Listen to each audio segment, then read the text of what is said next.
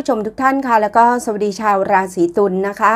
หรือใครทราบลัคนาก็ดูประกอบกันได้เลยนะคะ ชาวราศีตุลคือผู้ที่เกิด 17 ตุลาคมถึง 15 พฤศจิกายน อาจารย์อิงโหราศาสตร์ไทยนะคะ วันนี้เป็นการอ่านดวงความรักลายปากคุมเนื้อหา 16กันยายนถึง 30 กันยายน 2564 อาจารย์มาช้านิดนึงนะคะ ต้องขอโทษด้วยนะทำคลิปไม่ทันเลย โอเค เรามาดูดวงคนมีคู่ก่อนนะคะ คนไม่โสดคนที่มีคนรักอยู่นะ หรือคนที่สถานะความรักไม่ชัดเจนนั่นแหละค่ะ แต่ก็มีตกลงปรงใจเป็นคนรักกันนั่นแหละนะคะ แต่อาจจะยังไม่ได้ถึงขั้นแบบออยู่บ้านชายคาเดียวกันอยู่บ้านหลังเดียวกันอะไรประมาณนี้ อาจจะเป็นคนรักกันอยู่ แต่เจอปัญหาอยู่อะไรประมาณนี้นะคะ โอเค คนมีคู่ ดวงคุณพลังงานไพ่จะถอดเรื่องราวคุณ ว่ายังไง1 2อาจารย์เลือกไพ่10ใบนะคะ3 4 5 6 7 8 9 10โอเคอะมาลุ้นเลยค่ะ ชาวตุลคุณในไพ่ใบอะไร ว้าว judgment ขึ้นมาค่ะ justice ค่ะน่าจะแปลว่าความเขาเรียกว่าความเป็นไปได้แล้วค่ะ เพราะว่าไพ่ justice คือความถูกต้องอ่าถูกต้องตามธรรมเนียมขนบธรรมเนียมประเพณีถูกต้องตามกฎเกณฑ์กติกาของสังคมนะ judgment คือการประกาศการเปิดเผยอ่าอัศวินถ้วยนะคะ สิ่งที่มีปัญหาก็ก็เปลี่ยนใจที่จะต้องกลับมาใน สิ่งที่ถูกต้องอะนะคะไพ่ราชาดาบไพ่ star ไพ่ the moon นะคะ แต่ star กับ the moon ชุดนี้จะสวยนะคะ จะไม่เหมือน Rider Waite นะจะแปลคนละความหมายเลยนะคะ โดยเฉพาะถ้าเขาขยายไพ่ที่ดีต้องยิ่งต้องแปลไปในทางที่ดี เนาะเจ็ดไม้ The Fool แล้วก็ห้า ไม้เท้าค่ะ อาจารย์แปลดีนะคะไพ่ขึ้นอย่างนี้อะมองข่าวดีแล้วค่ะสำหรับชาวตุลนนะคะความรักที่ผ่านมา ท่านอาจจะมีความไม่ไว้วางใจกันนะคะไพ่ราชาดาบ พระราชาถือดาบแต่ดาบหักอะ่ะเห็นไหมคะหักหล่นอยู่ที่พื้นเนี่ย ดาบหักมันก็เหมือนความรักมันเสียหายมันแตกสลายความที่แบบทะเลาะเบาแหวงการตัดสัมพันธ์ก็ได้ นะคะ ทั้งๆทที่ก็รักกันมากอย่างเงี้ยนะคะ แต่แล้วก็อาจจะไม่เข้าใจกันก็บล็อกกันไป ก็แปลอย่างนี้ก็ได้ ต้องการอิสระเดฟูต้องการมีพื้นที่ส่วนตัวอ่าอะไรประมาณนี้ก็ห่างๆกันไป อาจจะต่างคนต่างไปแบบคุยคนใหม่ ๆ ก็ได้ แต่แล้ว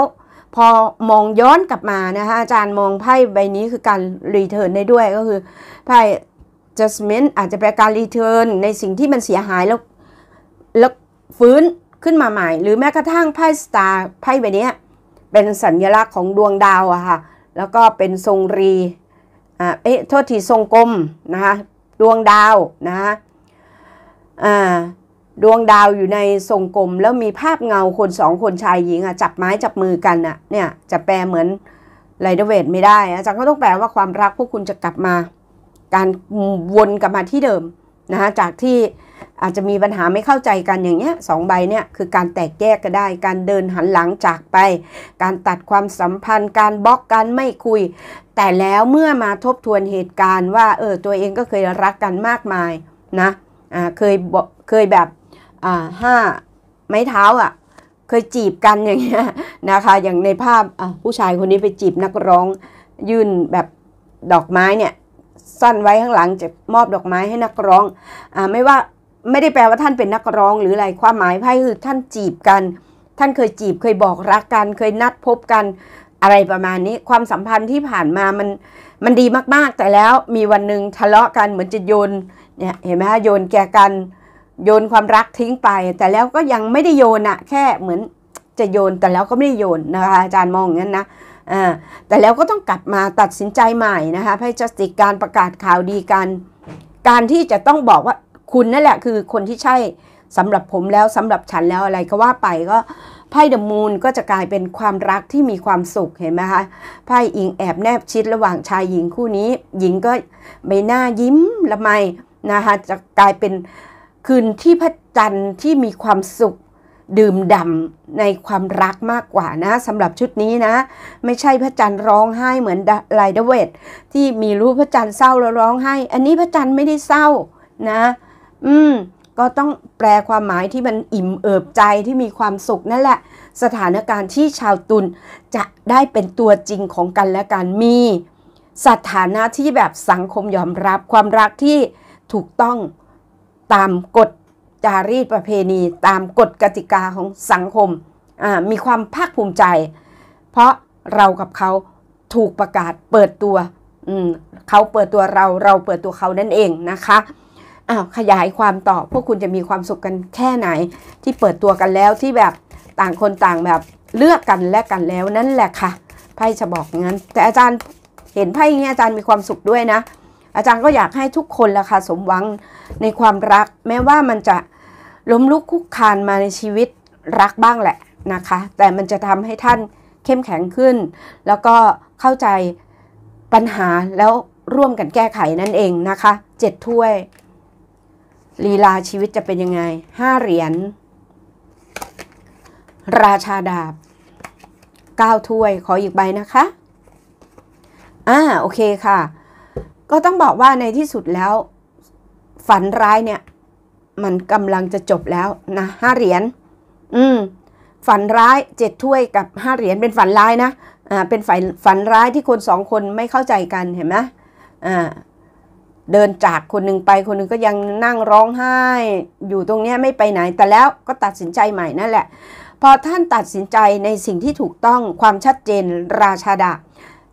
ท่านทั้งสองจะมีความสุขมากมายในโลกใบนี้มันเป็นสีชมพูเลยอะนะคะเก้าถ้วย สีชมพูหรือสีทองก็ว่าไปคือมันความสุข emperor คือความมั่นคงแบบยาวๆเลยนะคะ emperor เป็นไพ่จักรพรรดินะ คือยืนยาวเหมือน อายุของจักรพรรดิองค์นี้แหละเห็นไหมคะ เพราะฉะนั้นความรักท่านก็จะยืนยาวแบบนั้นแหละค่ะนะโอเค เรามาต่อด้วยดวงคนโสดค่ะ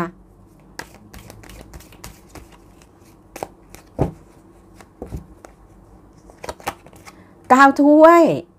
อืม ว้าว คล้ายๆกันเลย judgment คนโสดจะเจอคนถูกใจ เป็นคู่พรมลิขิต อืม คู่บุเพสันนิวาสเข้ามาแล้วล่ะค่ะ เจออาจจะแปลว่าสังคมออนไลน์ก็ได้ หรือเจอเพราะการเดินทางก็ได้นะคะอาจจะเจอคนทางไกลต่างถิ่นต่างแดนต่างจังหวัด หรือ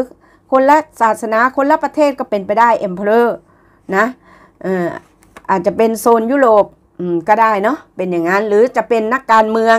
คนไทยเนาะเจ้าของธุรกิจอะไรอย่างเงี้ยหรือเป็นลูกสาวผู้มีอิทธิพลก็ได้นะคะ คุณผู้ชายโสดตุนอ่าคุณจะเจอคนที่ถูกใจและ เป็นความรักที่จะมีความสุขคุณจะไม่เหงาอีกต่อไปแล้วเจ็ดไม้นะ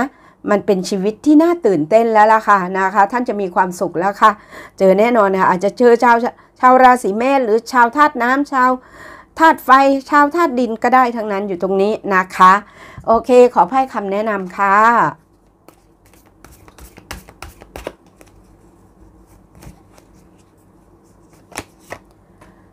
การปลดปล่อย อืม นี่แหละค่ะ ไปทำบุญเลยค่ะ ปล่อยนกปล่อยปลา แต่นกไม่ค่อยจะมีแล้วค่ะ ปล่อยปลาก็ได้ค่ะทำบุญนะคะ ชีวิตท่านเหมือนจะได้เขาเรียกว่าปลดปล่อยพลังงานที่มันไม่ดีออกไปแล้วพลังงานดีๆ จะเข้ามาแทนที่ดอกทานตะวันกำลังบานแสงสว่างพระอาทิตย์กำลังสาดแสงส่องมาแบบให้พลังงานกับทุกชีวิตบนโลกใบนี้ บนความรัก จะมีคนเสิร์ฟความรักให้ท่านเห็นไหมคะ ท่านจะมีความสุขแล้วล่ะค่ะ นะคะ ขอยืนยันจากไพ่ Romance Angel อย่าลืมไปทำบุญเหมือนที่ไพ่ขึ้นนะจ๊ะ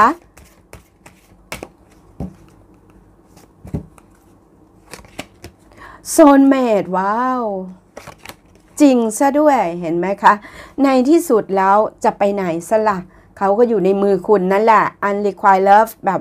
ถ้าพลังงานมันหมด passion หมดอะไรต่อกัน แต่แล้วมันกลับมาเริ่มต้นใหม่ได้ไงคะ เพราะยังไงคุณก็เป็นโซนเมดกันเป็นคู่กันคู่ชะตาฟ้าลิขิตมา อย่างแน่นอนพวกคุณก็จะมีความดื่มด่ำความสมหวังพลังงาน